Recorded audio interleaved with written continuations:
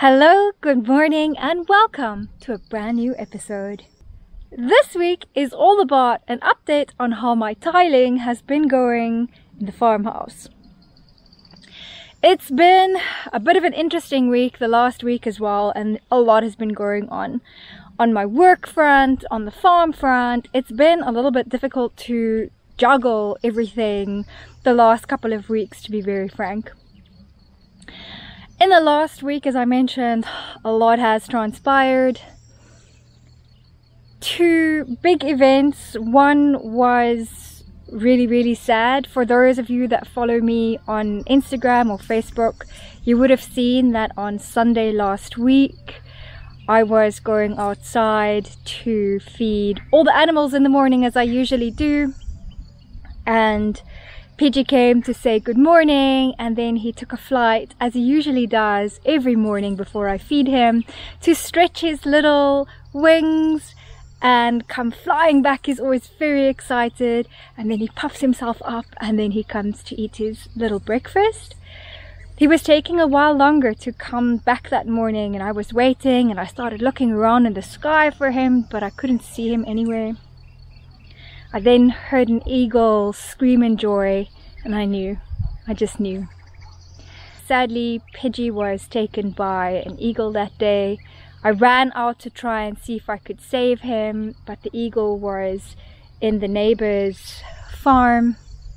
Still, I ran out and I tried to see if I could do anything, but as I got there, the eagle took off, and I think it must have been with Pidgey because I looked around for his little body and I just couldn't find it. So it's been a really, really sad week for me. He played quite a big role in my life, even though he was just a little being. Every every time I come outside, Pidgey would be there, coming to check on me, coming to say hello, coming to coo. It was really, really cute and it's been a lot quieter on the farm without him being there speaking to me all day long. So his presence is definitely missed and it's very, very sad. The other thing that happened in the last week was that I finally got my door delivered, my new entry door that was custom made, that is going to replace that horrific, well not so horrific, but that's going to replace, replace that temporary door so that I can finally start using that entryway again. The temporary door has been starting to fall off the temporary frame that was made for it. It wasn't meant to last this long. It was put up in September last year when the big renovation started so that I could have an entry point to come in and out while the other side was getting demolished. So it's been, it's had a good lifespan since September. Um, but it's really, I can't use it at all anymore. I can't even open or close it anymore because it's really hanging on the hinges at the moment. So um, it's time to get replaced and just in the nick of time, the door has arrived. I'm not going to be using the same boulders to replace that door or to fit that door because of what happened with my other door, of course. So I'm going to be relying on some heavy lifter friends of mine to hopefully come and help fit that door for me.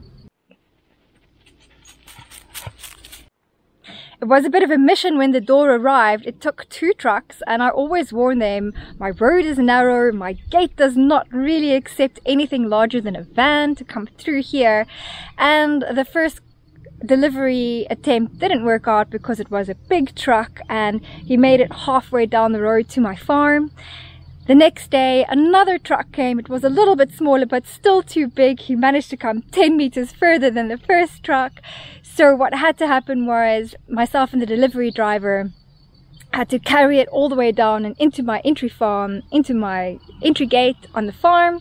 We left it by the gate and then the next morning I decided that I needed to bring it into the farm, to bring it into my storeroom at least because there was rain on the way and I didn't want it sitting out in the rain um, because it was in, obviously it's covered in a cardboard box and that sitting in the rain will damage the box and then it makes it more difficult to transport.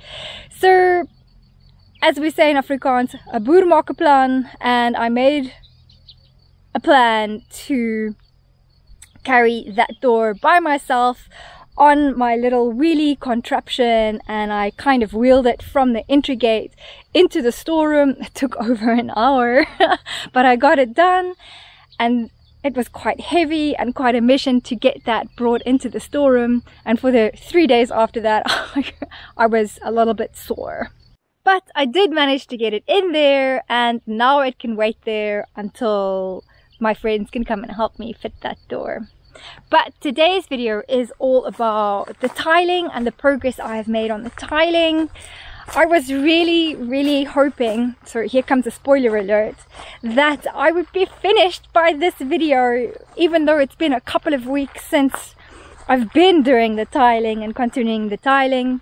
As I mentioned, spoiler alert, it is not finished. But I'm excited to show you guys how much I have been able to do and how much has been done since I attempted to do that tiling and start that tiling. As I mentioned, a lot of things has been on my plate in the last couple of weeks. Work has been taking up a lot of my time. And it's always interesting because most people think that being a digital marketer is all fun and games. You just get to sit and play on your computer all day. And they always associate it with working on Facebook or Instagram or any of those fun channels. And although I'm a holistic marketer and I can do all of that, my work actually is a little bit more technical than that. I'm a search marketer by trade, by speciality. So most of my clients come to me for search marketing. And that is really mentally taxing. After a day of trying to noodle things out and making plans and problem solving, by the end of the day, I am quite mentally tapped out and mentally taxed. And uh, although it's sometimes nice to get out of your head and then do something with your hands, by then I'm so tired that all I want to do is really nothing. So, and um, on weekends, what's been taking up my time is I usually edit my videos on a Saturday, which only leaves Sunday to really tile or get anything else done that I need to do renovation wise. And um, lately there's been a couple of new markets and things, and it's been nice to get out and spend some time with friends as well and just get out a little bit more and see all the new markets and the festivals that are arriving for spring and summer. So it's been very difficult to choose between renovating and getting out and about and just experiencing new things.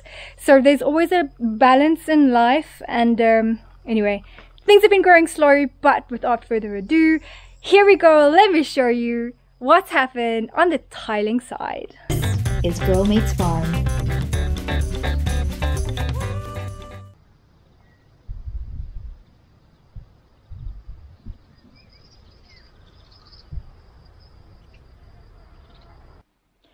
So today I continue with my tiling effort. I've had to move things around a little bit because I now have things taking up the space on the other side where I wanted to first finish.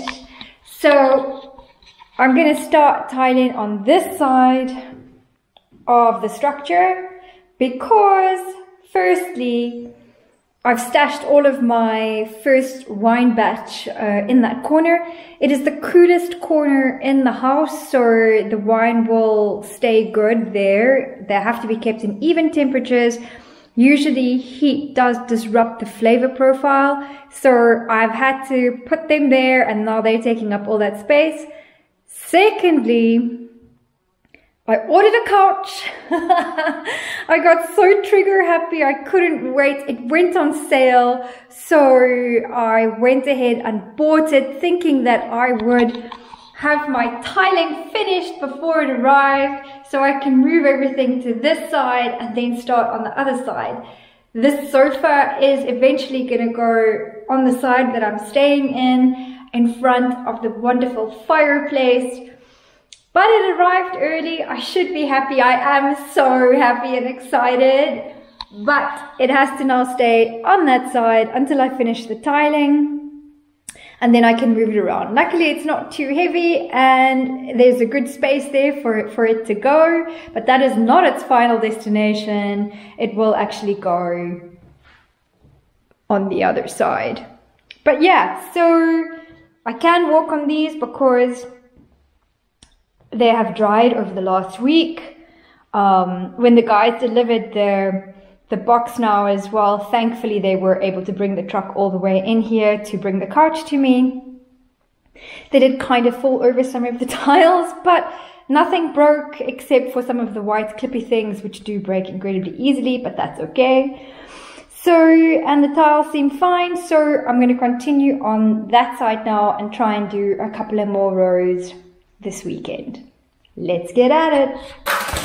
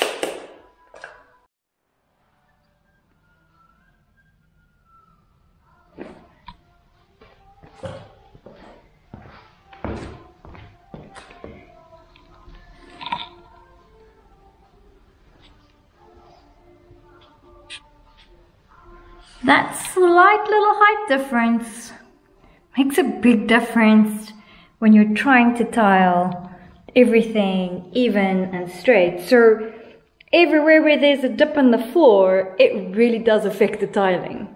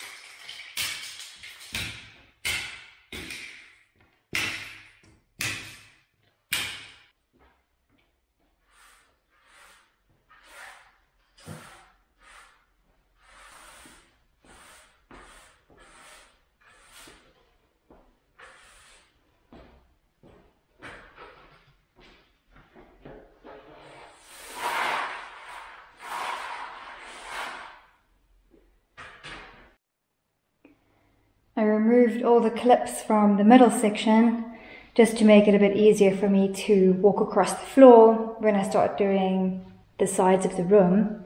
But removing it for sure, you can start seeing just what a noob I am. The early tiles that I did are super messy and there's big pieces of grout sticking or mortar sticking out everywhere. With the newer sections that I've done, I've definitely started working a lot cleaner. So thankfully, you know, I guess you learn as you go. And there's a lot less to clean up, but there's still pieces to clean up where the white clips were and the red clips were between the tiles. Um, but yeah, I guess one learns as you go. And I'll just have to clean it before I grout it. It is what it is. Otherwise, I think it looks relatively good. And this is where I currently am with the tiling. Um, these are all dry so I can work on them. I have managed to finish all the way onto the side here and it looks so good to me. I can't wait to finish this off. I even managed to come around the stonework here but I had to stagger this because what I haven't mentioned is that we had some rain a couple of weeks ago and it was quite a heavy storm. You will not believe I'm still having issues with this door when it rained, the water actually came through here and another area in the corner behind these tiles. And that is because it was never really fixed properly or cemented in properly. And um, so it looks like, yeah, I know it's completely overgrown with weeds, but on the other side, let me show you, this is kind of what it looks like. It is, I mean, this piece I think is even loose. So no wonder that there is water coming through here. So what I'm going to have to do is somehow I'm going to have to fix the cement below the door on this side and then I need to put a sealer on this side before I can actually finish the tiling into this corner. Um, yeah, so that needs to happen. And then I've managed to also come all the way as far as I possibly can to this wall here. Yes, I know there's a lot of stuff in here. Um, we can't go all the way against the wall because, well, tiles move, things shift around, and of course none of my walls are straight. So I'm still thinking about what I'm actually going to be doing on the edges all the way around to tie it off really, really nicely. And then, as you can see here, I mean, it's really not straight. But yeah, so this is the area where I still have to finish my tiling. There's probably about two or three rows to go there before I hit the turnaround on the on that stone wall. Here, why did I not put this tile? Well, I get really tired after doing two rows of tiling and when I get tired, of course, you know, you probably just don't pay attention enough and by the fifth tile I had broken, I kind of gave up on finishing that one. Um, so I'll attempt that when I continue with the rest of the tiling on this little end. On this side, I've had to stagger as well because what's happening here is I first need to pour the concrete in this little section to bring it level with this side. So, and in order for me to do that, I need the new door fitted so that I can actually go around that door, come in on this door, and then leave this little piece of cement to set. so there's a lot of contingencies, there's a lot of things that are dependent on something else.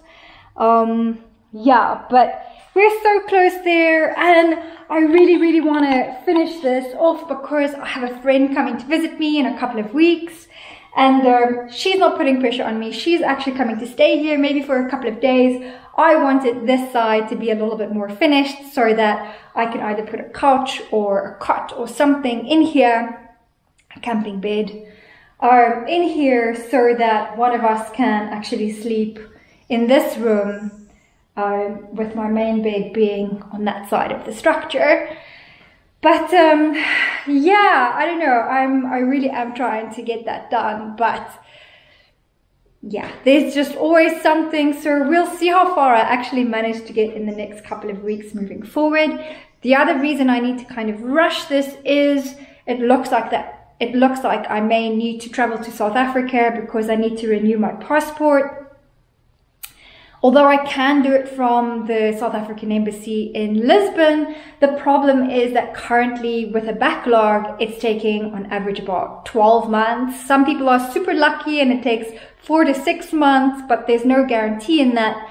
The other thing is that you have to surrender your passport and I don't particularly like the idea of surrendering my passport and I'm not having it if I needed it for any kind of emergency travel or whatever the situation may be.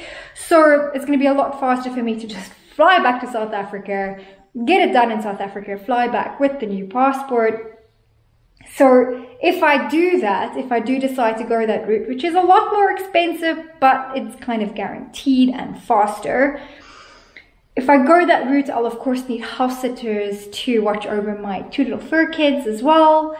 And um, I want to have this in a better state than what I currently have it in at the moment. So that'll be exciting.